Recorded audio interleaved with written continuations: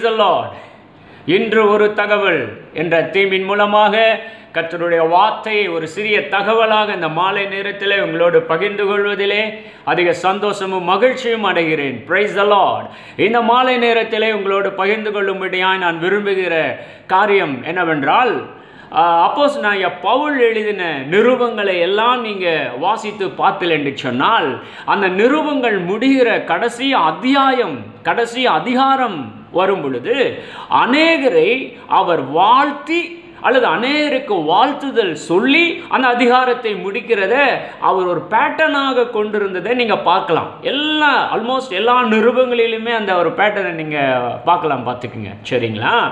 வாழ்த்துதல் சொல்லி.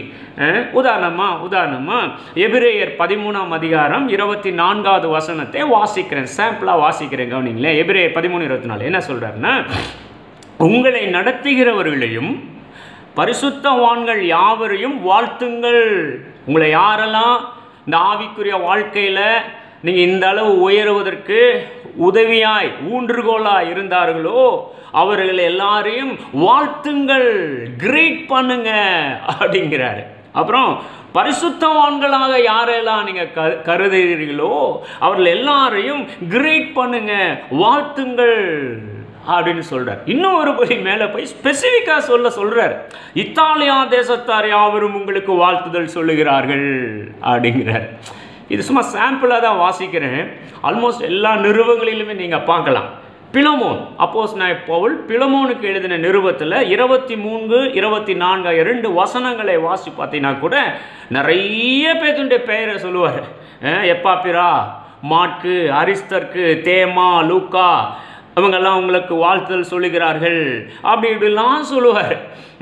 தீத்து மூன்றாம் அதிகாரம் பதினைந்தாவது வசனத்தில் பார்த்தீங்கன்னா விசுவாசத்திலே நம்மை சிநேகிகர்களுக்கு வாழ்த்துதல் சொல்லு. விசுவாசத்திலே நம்மை சிநேகிகர்களுக்கு வாழ்த்துதல் சொல்லு. அப்படிம்பார். அப்போது எல்லா நிருபங்களிலுமே பார்த்தீங்கன்னா இந்த மாதிரி ஒரு பேட்டர்னை அவர் அடாப்ட் பண்ணினதை நீங்கள் கூர்ந்து கவனிக்கலாம். இன்னும் ஒரு சில நிருபங்களெல்லாம் பார்த்தீங்கன்னா ஒரு ஒரு ஒரு அன்பின் முத்தத்தோடு வாழ்த்துங்கள் கிரீட் பண்ணுங்க அப்படிம்பாரு. பரிசுத்த முத்தத்தோடு வாழ்த்துங்கள் அப்படின்லாம் சொல்கிறார் இல்லைங்களா? அப்போது இந்த வசனங்கள் எல்லாம் இப்படி வாழ்த்துதல் உள்ளடக்கிய பவுலுடைய நிருபங்களினுடைய இந்த கடைசி அத்தியாயங்கள் எல்லாம் நான் வாசிக்கும்போது எனக்குள்ள ஒரு ஆச்சரியமான ஒரு காரியம் எனக்குள்ள உருவானுச்சு பார்த்துக்குங்க. என்ன அப்படின்னா இது போல் வாழ்த்துதல் சொல்லுகிறதுல ஒரு ஒரு பெரிய பிளஸ்ஸிங் இருக்குது. ஒரு பெரிய ஆசீர்வாதம் இருக்கிறது அப்படிங்கிறத நான் ஒரு நாள் கண்டுபிடிச்சேன். அல்லேலூயா சரிங்களா? ஒன்றுமே இல்லை. அது சொல்கிறதுல என்னையா இருக்கு? அப்படிங்கிற மாதிரி இருந்திருந்தா பவுல் அவர் எழுதின ஒவ்வொரு நிருபத்தினுடைய முடிவிலையும் இது மாதிரி வாழ்த்துதல் சொல்லி அவனுக்கு வாழ்த்துதல் சொல்லி இவனுக்கு வாழ்த்துதல் சொல்லி அந்த நிறுவத்தை முடிச்சிருக்க மாட்டார் இல்லையா? அப்போ ஏதோ ஒரு சமாச்சாரம் அதில் இருக்கிறான செய்து இல்லையா? ஸோ அந்த கோணத்தில் நான் கொஞ்சம் யோசித்து பார்க்கும்போது தான் அப்போது இதே பேட்டனை நாம்களும் நம்முடைய நடைமுறை வாழ்க்கையில் அடாப்ட் பண்ணுனா என்ன? கடைபிடித்தா என்ன? அப்படின்னு ஒரு எண்ணம் வந்தது பார்த்துக்குங்க. அல்லேலூயா சரிங்களா? இது ஏன் சொல்கிறேன் அப்படின்னா நாம்களும் இதுபோல் ஒரு புதிய இடத்துக்கு போகிறோம் அல்லது ஒரு சில புதிய நபர்களை பார்க்கிறோம் அப்படின்னா அவங்கள கிரேட் பண்ண பழகிக்கொள்வோம் வாழ்த்துங்கள் வாழ்த்துங்கள். ஹாலூயா அது அந்த வாழ்த்துதலை கேட்கிறவர்களுக்கு ஒரு பெரிய ஆசீர்வாதத்தை கொண்டு வருகிறதா இருக்கிறது என்பதை நீங்கள் மறந்துவிட வேண்டாம். ஹalleluya சரி இன்னும் இன்னும் எளிமையாக சொல்கிறேன் பாருங்களேன். இப்போது கிறிஸ்துவ வட்டாரத்தில் நம்மெல்லாம் ஜப கூடுகையெல்லாம் நிறையா அட்டன் பண்ணியிருக்கோம். அந்த ஜெபம்லாம் முடிஞ்ச பிறகு ஆசீர்வாத ஜெபம் அப்படின்னு ஒன்று பண்ணுறாங்க இல்லையா? என்ன என்ன ஜபம் அது? ஆண்டவராய இயேசு கிறிஸ்துடைய கிருபையும் பிதாவாகிய தேவனுடைய அன்பும் பரிசுத்த ஆவியானுடைய ஐக்கியமும் சமாதானமும் சந்தோஷமும் இன்றும் இன்றும் சதா காலங்களிலும் நம் அனைவரோடு கூட இருப்பதாக அப்படின்னு சொல்கிறாரு இல்லையா? அது ஏற்கனவே ஆக்சுவலி எங்கே இருக்குது? ரெண்டு குருந்தியர் பதிமூணாம் அதிகாரம் பதினான்காவது வசனம். ரெண்டு குருந்தியர் பதிமூணு பதினாலில் பார்த்தீங்கன்னா அது ஒரு வாழ்த்துதலின் சத்தம். ஆசீர்வாத ஜெபம் நாம் சொல்லுகிறோம். ஆனால் ஒரு வாழ்த்துதல் அது. ஹalleluya இல்லையா? நினச்சி பாருங்க. இப்போ நான் ஒரு ப்ரேயர் மீட்டிங் கண்டக்ட் பண்ணுறேன் பிரேயர் மீட்டிங்கிற முடிவில் இந்த வார்த்தை சொல்லி நான் வாழ்த்தும் பொழுது இயேசு கிறிஸ்துவின் கிருபையும் பிதாவாகிய தேவனுடைய அன்பும் பரிசுத்த ஆவியானவருடைய ஐக்கியமும் சமாதானமும் என்றும் என்றும் சதா காலங்களிலும் உங்கள் அனைவரோடும் கூட இருப்பதாக. அப்படி சொல்லும் போது இது ஒரு வாழ்த்துதலின் சத்தம். ஆசீர்வாத வாழ்த்துதலின் சத்தம். ஹalleluya இந்த சத்தம் யார் யார் செவிகளுக்குள்ளெல்லாம் போகுதோ அவங்க மிகவும் ஆவியிலே ஆசீர்வதிக்கப்படுவார்கள் என்பது என்னுடைய விசுவாசம். ஹalleluya சரிங்களா? சரிங்களா? அப்போது இதுபோல் நம்ம வாழ்த்துதல் சொல்லி பழக வேண்டும் என்று இந்த மாலை நேரத்தில் பரிசுத்த ஆவியானவர் விரும்புகிறார். சரிங்களா? சரி. பழைய ஏற்பாட்டில் கூட நிறைய உதாரணங்களை உங்களுக்கு காண்பிக்க முடியும். சும்மா சாம்பிளாக ஒன்றே ஒன்று காட்டுறோம் பாருங்களேன்.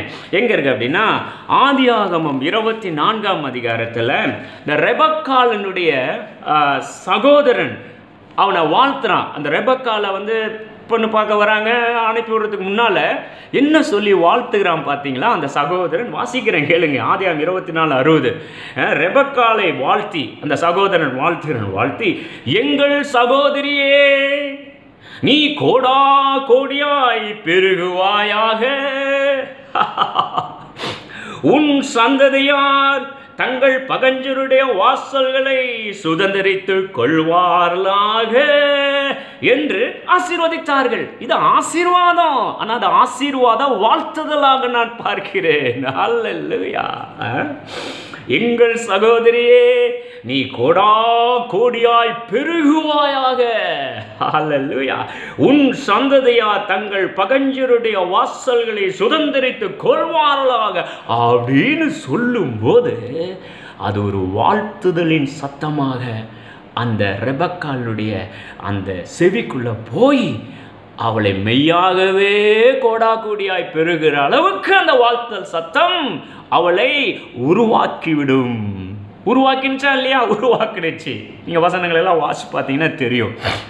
அலையிலுயா சோ என்ன சொல்ல வரேன் அப்படின்னா இது வந்து ஒரு பேட்டர்ன் வேதாகமத்தில். ஹalleluya நீங்கள் அதை கடைபிடிச்சு பாருங்களேன். ரொம்ப ஆசீர்வாதமாக இருக்கும். ஹalleluya தினந்தோறும் குட்டி குட்டி தகவலாக சொல்லிட்டு இருக்கிறேன். அநேகருக்கு ஆசீர்வாதமாக இருக்குன்னு நான் நம்புகிறேன் ஓகே சரி. இப்போ இன்னும் ரெண்டு மூணு வசனங்களை நான் காண்பிக்கிறேன் பாருங்களேன். மத்தேயு பத்தாம் அதிகாரம். மத்திய பத்தாம் அதிகாரத்தில் பன்னிரெண்டு பதிமூணு. ஆ ரெண்டு வசனங்களை வாசிக்கிறேன். ஏசு என்ன சொல்லித்தரான்னு பார்ப்போம். மத்திய பத்து பன்னிரெண்டு பதிமூணு. என்ன சொல்றாரு? ஒரு வீட்டுக்குள் பிரவேசிக்கும் போது அதை கிரீட் பண்ணுங்க. அதை வாழ்த்துங்கள். இப்போ ஒரு வீட்டு உங்க வீட்டுக்கு நான் வரேன். என்ன பண்ணணும்? அந்த வீட்டை அந்த வீட்டின் வாசல்ல காலடி எடுத்த உடனே எடுத்து உள்ள வச்ச உடனே அந்த வீட்டை வாழ்த்த வேண்டும். அல்ல என்னன்னு சொல்லி வாழ்த்துறது? இந்த இவர் சொல்லித்தர வாழ்த்துதல் வந்து சமாதான வாழ்த்துதல். எப்படி சார் சொல்றீங்க? அடுத்த வசனம் வாசிங்க. பதிமூணு. மற்ற பத்து பதிமூணு. அந்த வீடு பாத்திரமா இருந்தால் நீங்கள் கூறின சமாதானம் அவர்கள் மேல் வரக்கடவது. சமாதான வாழ்த்துதல். கோடா கூடியாய் பெருகுவாயாக அது ஆசீர்வாத வாழ்த்துதல். ஆண்டோரா இயேசு கிறிஸ்துடைய கிருபையும் பிதாவாய தேவனுடைய அன்பு பரிசுத்தாவியான ஐக்கியம் சமாதானம். அது வந்து ஆசீர்வாத வாழ்த்துதல். இந்த வாழ்த்துதல் சமாதான வாழ்த்துதல். அல்லேலூயா அந் நீங்கள் வாழ்த்து ஒரு வீட்டுக்குள் பிரவேசிக்கும் போது அதை வாழ்த்துங்கள். அந்த வீடு பாத்திரமாக இருந்தால் நீங்கள் கூறின சமாதானம் அவர்கள் மேல் வரக்கிடவது. அமாத்திரமாக இருந்தால் நீங்கள் கூறின சமாதானம் உங்களிடத்துக்கு திரும்ப கடவது. ஹalleluya சரிங்களா? அப்போ இயேசு சொல்லித்தரார் பாருங்க. அப்போ இதில் ஒரு விஷயம் இருக்குதுங்க. ஹalleluya இது சமாதான வாழ்த்துதல். என்னைக்கு இந்த சத்தியத்தை சத்தியம்ல ஒரு சின்ன ஒரு இன்ஃபர்மேஷனாக ஆவியான என் உள்ளத்தில் என்னைக்கு போட்டாரோ பல இருபது வருடங்களுக்கு முன்னாலே இந்த காரியம்லாம் எனக்கு டீச் பண்ணிட்டார். அப்போது இருந்து என் என்னுடைய அறிவுக்கு உட்பட்டு நான் இதை கடைபிடித்து வருகிறேன். எங்கெங்கெல்லாம் ஒரு புதிய வீட்டுக்கு போகிறேனோ அங்கங்கெல்லாம் கையை உயர்த்தி அவங்க பார்க்குறாங்களோ இல்லையோ அதெல்லாம் தெரியாது. உள்ளே போனோன்னே இந்த வீட்டுக்கு சமாதானம் உண்டாவதாக அப்படின்னு சொல்லி வாழ்த்திடுவேன் பார்த்துக்குங்க. ஹalleluya. வசனம் சொல்லுதுல ஒரு வீட்டுக்குள் பிரவேசிக்கும் போது அதை என்ன பண்ணணும்? வாழ்த்துங்கள் யா அப்படின்னு சொல்லித்தரார் ஏசு வாழ்த்தும் போது அந்த சமாதானத்துக்கு பாத்திரம் நாங்கள் இருந்தால் நீங்கள் கூறின சமாதானம் அங்கே தங்கும்.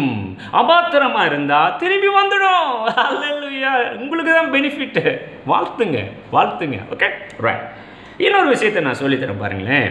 லூக்கா ஒன்றாம் அதிகாரம் லூக்கா ஒன்றாம் அதிகாரத்தில் நீங்கள் முப்பத்தி ஒம்போதுலேருந்து நாற்பத்தி ஒரு வரையிலான வசனங்கள் நாற்பத்தி நான்கு அல்லது நாற்பத்தி அஞ்சு வரையிலான வசனங்களை வாசிச்சு பாருங்க. லூக்கா ஒன்று நாற்பத்தி நாற்பதுலேருந்தே வாசிங்களேன் நாற்பத்தஞ்சு வரைக்கும்.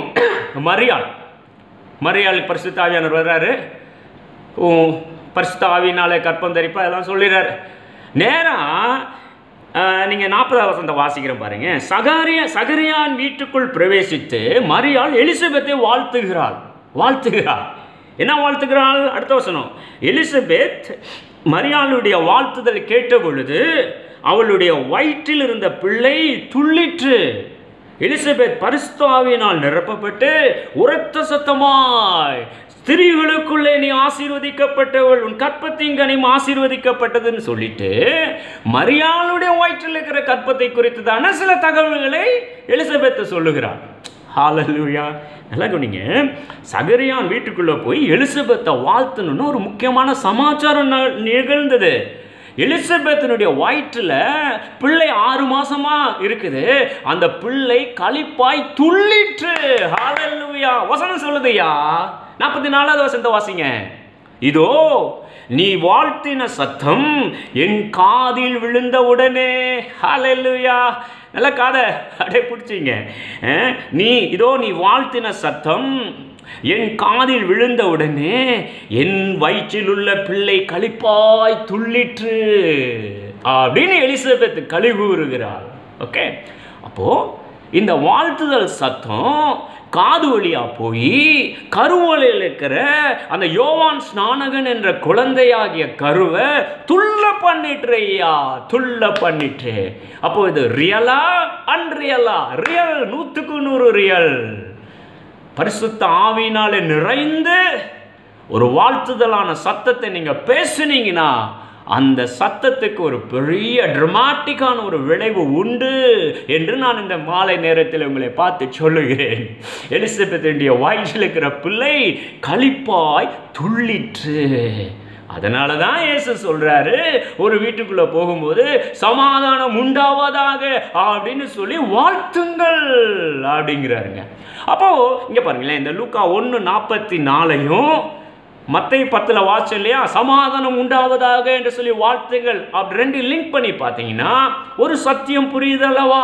இங்கே எலிசபெத்தினுடைய காதுக்குள்ள அந்த வாழ்த்தல் சத்தம் போய் அவள் வயிற்றில் இருக்கிற பிள்ளையை களிப்பாய் துள்ள பண்ணினது இப்படியோ அப்படியே ஒரு வீட்டுக்குள்ளே போய் சமா சாரி சமாதானம் உண்டாவாதாக அப்படின்னு சொல்லி வாழ்த்தும் போது அந்த வீட்டின் எல்லை எங்கிலும் உள்ளுக்குள்ள அப்படியே பெட்ரூமு வரவேற்பறை கிச்சன் எல்லா இடங்களிலும் அப்படியே அந்த வாழ்த்துதல் சத்தம் டிராவல் ஆகும்பாங்க. ஹalleluya டிராவல் ஆகி ஏதோ ஒரு விளைவை கண்ணுக்கு தெரியாது ஆவிக்குரிய மண்டலத்திலே ஏதோ ஒரு விளைவை அந்த குடும்பத்தார் வாழ்க்கையிலே நிறைவேற பண்ணும் உண்டாக்கும். ஹalleluya. சரிங்களா? இல்லைன்னா சும்மா சொல்லியிருக்க மாட்டார் எங்கள் அப்பா ஏசு ஒரு வீட்டுக்குள்ளே போன உடனே சமாதானம் உண்டாவதாகன்னு சொல்லி வாழ்த்துன்னு ஏன் சொல்கிறாரு எலிசபெத் மாடல் காதுக்குள்ளே போகுது வயிற்றில் இருக்கிற பிள்ளை கழிப்பாய் துள்ளுகிறது. ஒரு எஃபெக்ட் இருக்குதுயா? ஒரு இம்பேக்ட் இருக்குதுயா? வாழ்த்துங்கய்யா வாழ்த்துங்கய்யா. ஹாலலுயா சரி கடைசி ஒரு காரியத்தை சொல்லி முடிக்கிறேன். மற்ற இருபத்தெட்டாம் அதிகாரத்தில் ஒன்பதாவது வசனம். உயிரோடு இயேசு எழுந்துட்டாரு. அவர் சொன்ன வார்த்தை என்ன தெரியுமா? வாசிக்கிறேன் கவனிங்க. மத்தேயு இருபத்தெட்டு ஒன்பது. அவர்கள் அவருடைய சீசர்களுக்கு அறிவிக்க போகிற போது இயேசுதாமே அவர்களுக்கு எதிர்பட்டு வாழ்க! என்ன சொன்னாரு? வாழ்க! என்றார். அவர்கள் கிட்ட வந்து அவர் பாதங்களை தழுவி அவரை பணிந்து கொண்டார்கள். உயிரோடு எழுந்த இயேசுவும் சொல்றாரு வாழ்க! என்று சொல்றார். வாழ்க! ஹalleluya சரிங்களா? அப்போது இந்த மறுமையான மாலை நேரத்தில் ஒரு சிறிய தகவலாக உங்களோடு பகிர்ந்து கொள்கிறேன் நீங்கள் மற்றவங்களை க்ரீட் பண்ணுறது எவ்வளோ ஒரு முக்கியமான ஒரு காரியம் ஆவிக்குரிய வாழ்க்கையில். எனக்காவது யோசிச்சு பார்த்துருக்கீங்களா?